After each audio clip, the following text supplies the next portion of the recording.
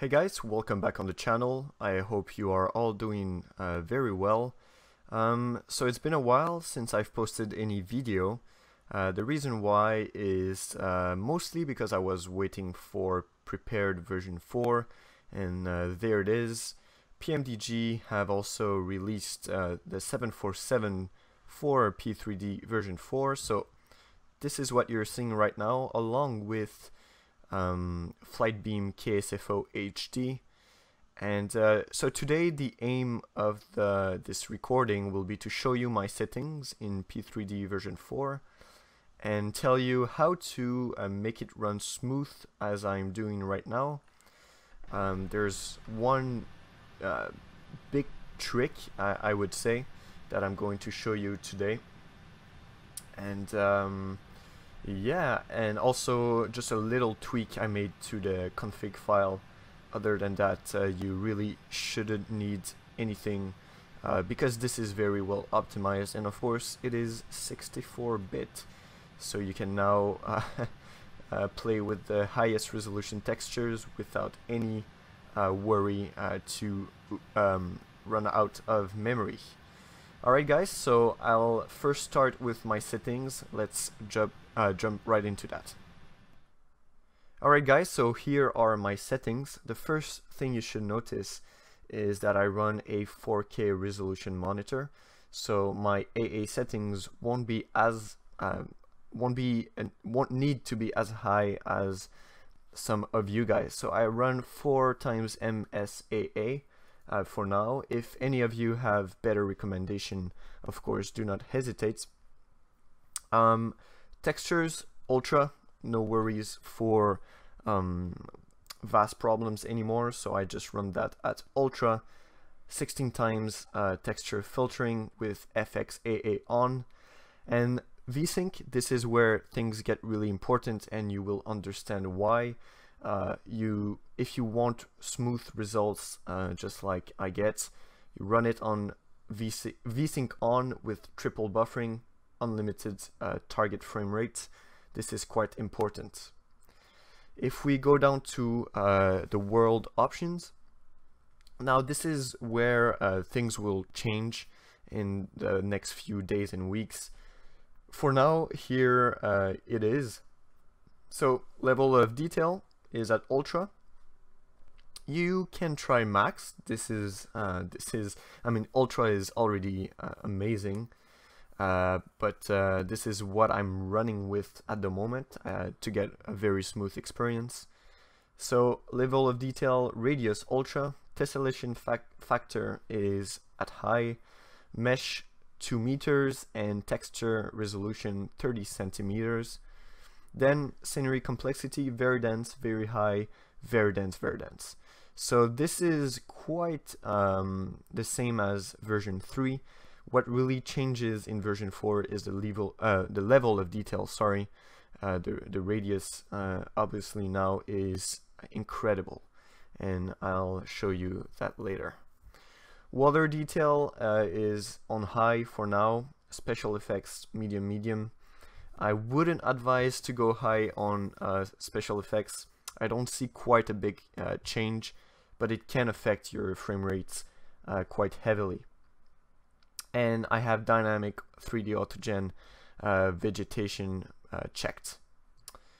So if we go down to lighting, um, I'm running the brand new Ultimate uh, Realism pack, um, which comes with an auto installer, and these are the recommended settings. Actually, it's 80 here, if I can set that, and one here, just like that. Uh, so these are the settings I recommend. If ever, there, I'm going to leave a link to um, URP, uh, which is Ultimate Realism Pack in the description down below. Of course, running dynamic lighting, this is the big new feature with P3D version 4. It's absolutely fantastic.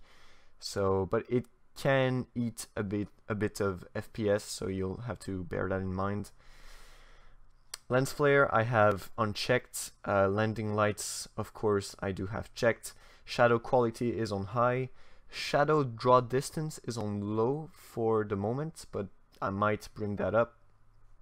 Casting and receiving, I'm not quite sure what are the impacts as of now. Uh, so I've uh, just left that to default.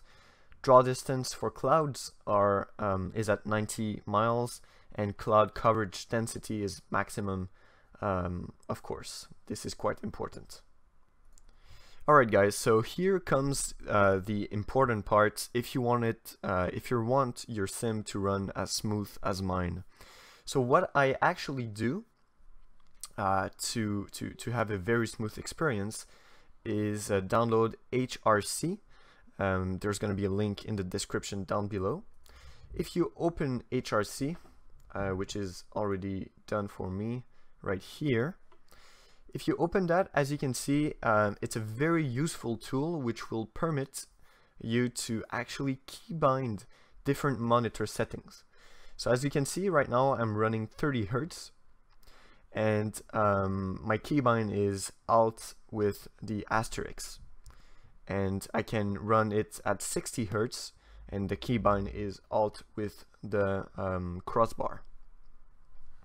And what 30 hertz actually do, or actually does, I should say, is uh, when the monitor runs at 30 hertz and when in the game you have VSync on uh, with unlimited frame rates, um, the game will um, stay at a steady 30 FPS, of course if you can sustain at least 30 FPS.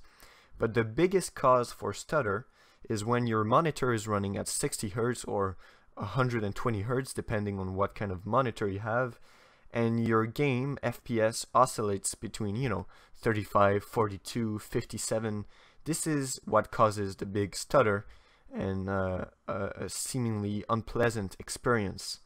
So the only thing you have to do uh, first of all is make sure you can sustain at least 30 FPS in game to do that to do so um, play with your settings of course and then uh, download HRC again the link will be in the description down below. And uh, providing that your monitor can actually run safely at 30 Hertz um, you know just select a keybind the only thing you got to do here is you know you can select 60 30 29 so you have two options.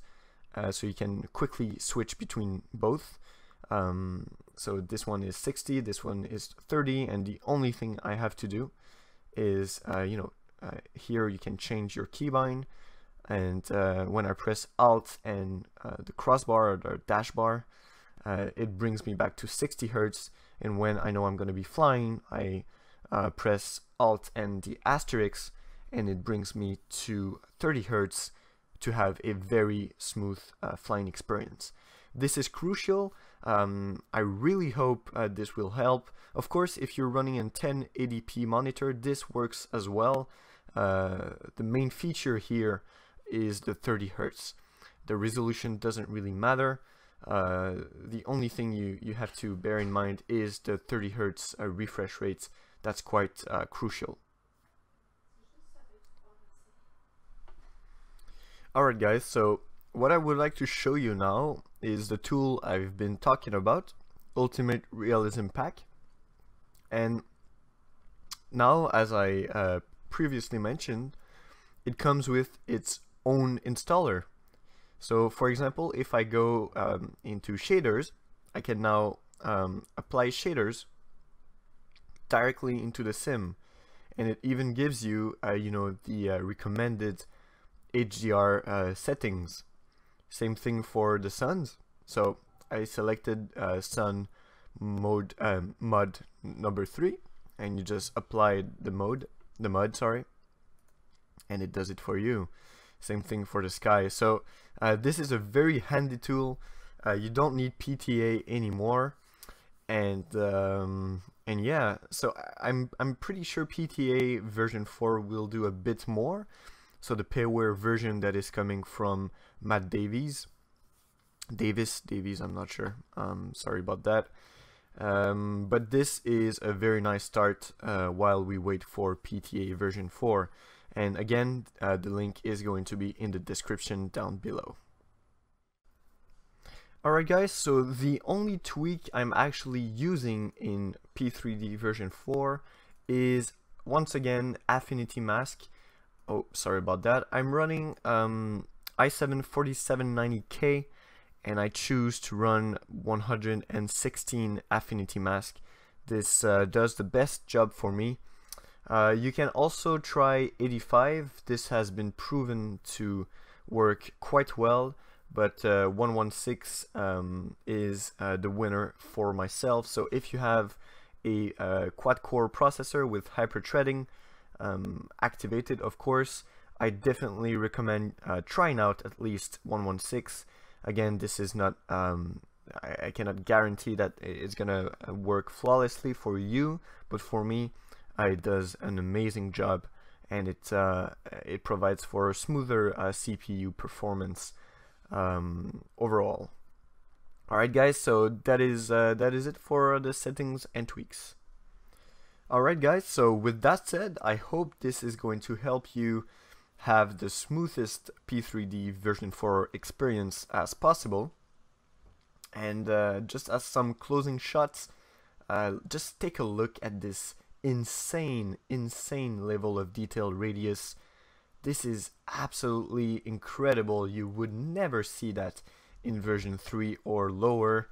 Um, this is this is wonderful. This is this is what we've we've been waiting for, um, and I, I say that with uh, with uh, like a hundred percent confidence.